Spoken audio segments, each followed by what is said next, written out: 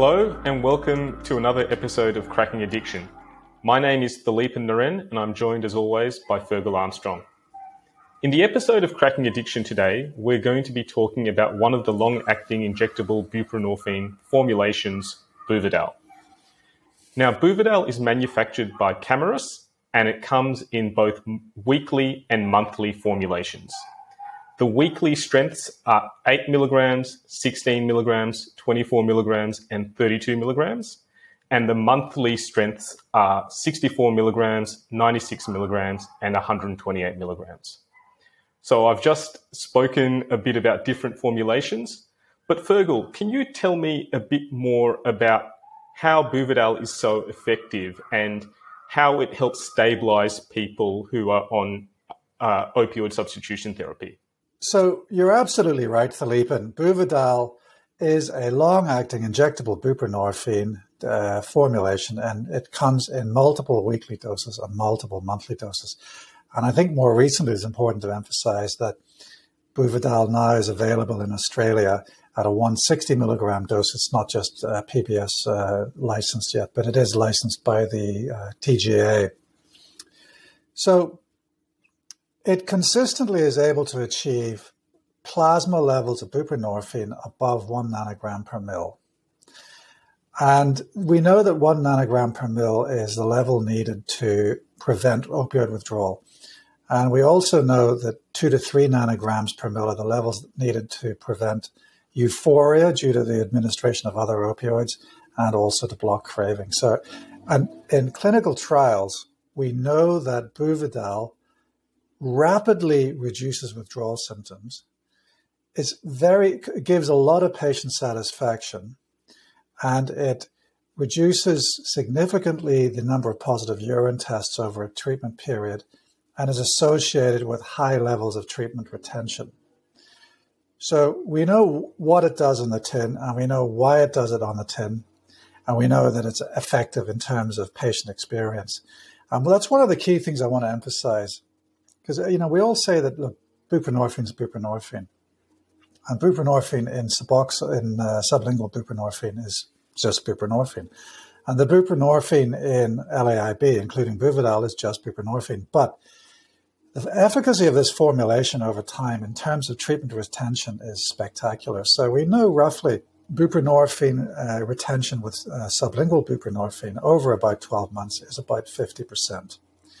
But the retention in treatment for uh, in recent studies has been shown to be 70%.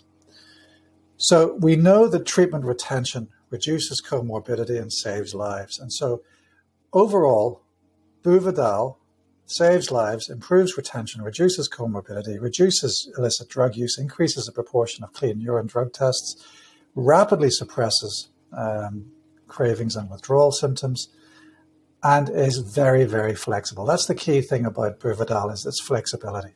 It has weekly doses, it has monthly doses.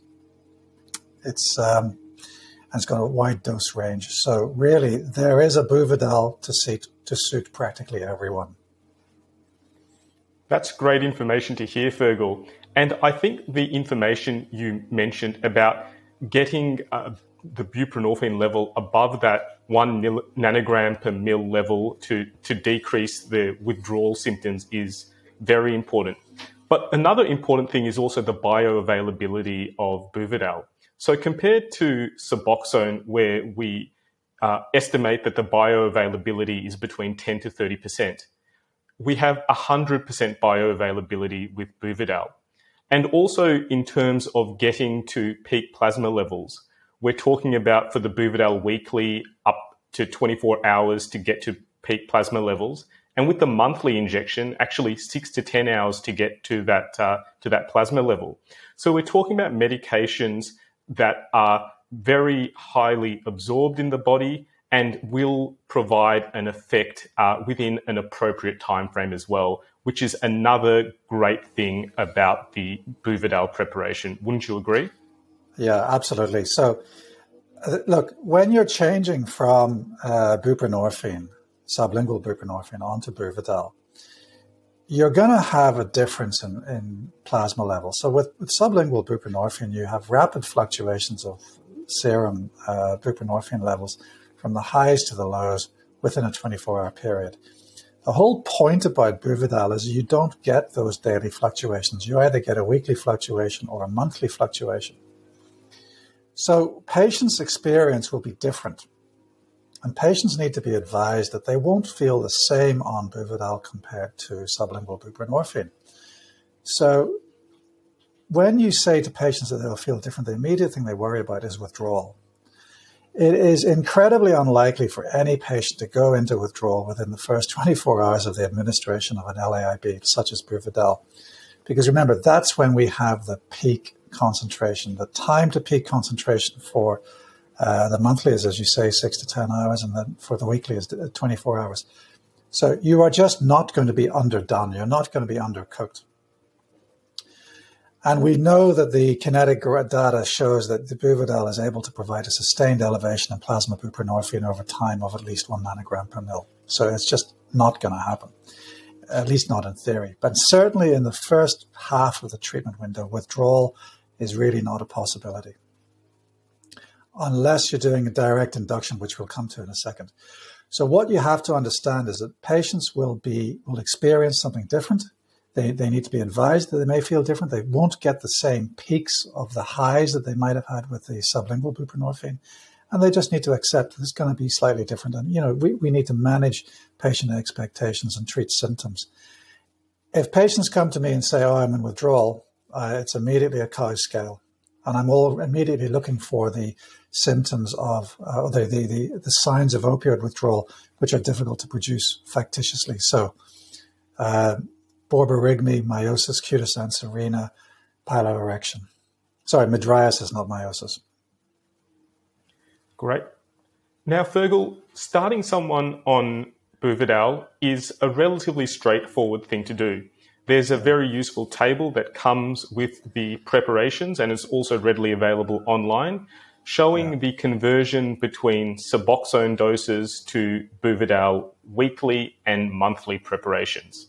Mm. For patients who are on low dose Suboxone, defined as uh, six milligrams or less, uh, they're only eligible for the weekly Buvidal pre- preparation, which is eight milligrams. But beyond that, there are different strengths uh, for the Buvidal weekly and monthly based on the Suboxone dosage that someone's on. Now, the marketing and the guidelines do recommend commencing on Suboxone initially for about seven to eight days and getting on a stable dose of that before transitioning over to a Buvidal weekly or monthly preparation. But one can induct someone on Buvidal directly. Could you talk us through the process for that, please? Yeah. The, the key principle for buprenorphine induction by whichever product you're going to use, be it sublingual buprenorphine or an LAIB, is to make sure that the patient is in withdrawal. Because as we know, buprenorphine is a partial agonist with high avidity. So if a patient is neuroadapted and as, this has got opioids on board, buprenorphine will displace those other opioids from the mu receptor. And because it's only a partial agonist, will tickle the receptor for only half as much, and that will cause a withdrawal. Now, as you say, um, the standard way of starting buprenorphine with, in Buvidal is simply to, you know, jump off a week's worth of sublingual buprenorphine. Now, a lot of people say to me, well, okay, so you need seven days of buprenorphine. Um, well, do you give the Buvidal on the last of the seven days or do you give the Buvidal after seven days? And the product information says after seven days. But if you think about it, I mean, if you're starting someone on weekly Buvidal, the T max is 24 hours. So I actually say give the last dose of um, uh, sublingual buprenorphine nine o'clock in the morning, and if everything's okay, twenty past nine, give the first dose of the weekly formulation because you because you know that the T max is not going to occur for another half hour, another another day, sorry, for twenty four hours. It's a bit more tricky with the monthly preparation because we know that the T max is six to ten hours if people are really anxious about going into withdrawal, I'll happily give the two in the same day, the last of the seven days plus the first monthly injection. You know, because at the end of the day, it's a partial agonist. You know, and if someone's fit and healthy without significant cardiorespiratory or hepatorenal comorbidity, it should be okay. But again, I have to emphasize that is outside product information, which does stipulate administer the buprenorphine in Buvidal after the day after the last buprenorphine sublingual. Now, in terms of doing a direct induction, so again, we, are worried about the um, we're, we're, worried about precipitated withdrawal. So the key, the, the product information now recognizes common practice, which is to go direct induction. So assume, assuming patients are in withdrawal, the recommendation is to give about 16 milligrams of Buvidal weekly and then see how the patient goes. And you can give additional eight milligram doses within that uh, within that first week, so long as each injection is more than 24 hours apart, or at least 24 hours apart. So you might find on day on day one you might give 16 milligrams. Day two you might give another eight, and day three or four you might give another eight. So the maximum in the first week would be 32. The second weekly dosing would be the cumulative total of the first week's uh, Buvidal. And then you would then decide whether or not to maintain somebody on weekly or whether or not to shift them onto, onto monthly. It sounds somewhat complicated, but really, when you actually do it in practice, so long as you've got the dosing schedule in front of you, it's fairly easy. It is. It is quite easy. And the frequency of dosing is also relatively easy. For yeah. Buvidal weekly, it's usually administered every seven days plus or minus two days, so between yeah. a five or nine day schedule. And for Buvidal yeah. monthly, the dose can be administered every four weeks plus or minus uh, one week, so a three to five week schedule. And usually a steady state equilibrium is reached by about the fourth dose also. So is, is that your experience as well, Fergal? And are you happy with those kind of protocols? Yeah, absolutely. I think it's important to emphasize that you don't get to steady state until at least the fourth injection, if not the fifth injection. Which means then you're not going to really be stable until that point, which means you're going to get t- timing variations. And in my experience, you probably need to be administering Buvidal monthly, maybe every three weeks, gradually pushing up to that four week mark until you get to steady state. And the same with the weekly. Patients might not feel completely controlled with uh, with uh, seven days Buvidal, and they might need it more frequently whilst they're titrating up. But certainly, when you get to steady state, the weekly dose does last a week, and the monthly dose does last a month for the vast majority of people. And in quite a few patients as well, I've found that it actually lasts a lot longer than a month as well. So you've got the yeah. fortunate people who can sometimes stretch out that Buvidal monthly to five or yeah. six weeks as well, based on yeah. effect. So it's really quite useful. It is. It is. Yeah. And I suppose that speaks to the patient variability. You know, patients are not automatons. Patients haven't read the textbooks, and and, and I think also once you're once you're walking with a patient on their journey towards that steady state point, you have to walk with them and you have to acknowledge their fears and their feelings because they may experience opioid withdrawal, but they may also experience symptoms of, of, of the side effects of high doses of buprenorphine. Like, I mean, for instance, one example would be sweating. So, so, or the side effects of buprenorphine are sweating, agitation, headache, insomnia, nausea, constipation. So when you're inducting someone, remember you're, you're giving them relatively high doses of buprenorphine in the LAIB. And so for the next three, four, five days, depending on the product, they may feel relatively wired and agitated. And again, they might interpret that as overdose. Well, we know it's not overdose because, you know, we'll do a chi-score and we'll look for signs that are difficult to reproduce factitiously. But we also know that um, withdrawal could be a possibility in the second half of the time window, be it the second half of the week or the second half of the month. But until you get to steady state, you really just don't know. Absolutely. And in the episode today, we've talked about Buvidal, the different strengths of Buvidal, the different formulations of Buvidal, how to commence someone on Buvidal, how long it takes to take effect, how to get to steady state and how to counsel the patient through that time period and how to monitor the, the patient during the time period on the Buvidal preparations. So we've covered a fair bit of information in this episode of Cracking Addiction. But Fergal, is there something else that you'd like to talk about with regard to the Buvidal?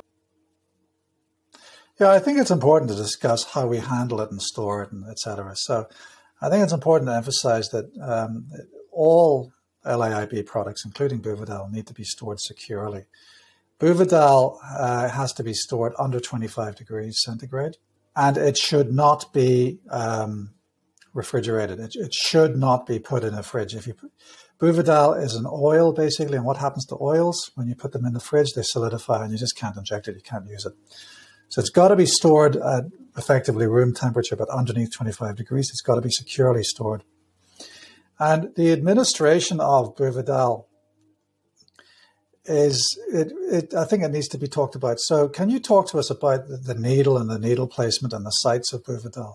Absolutely. So, Buvidal is administered to, through a 23 gauge syringe and needle, and the locations for Buvidal it's a subcutaneous injection, and usually it's administered either in the abdomen, the uh, upper arms, the lateral thighs, and the buttocks.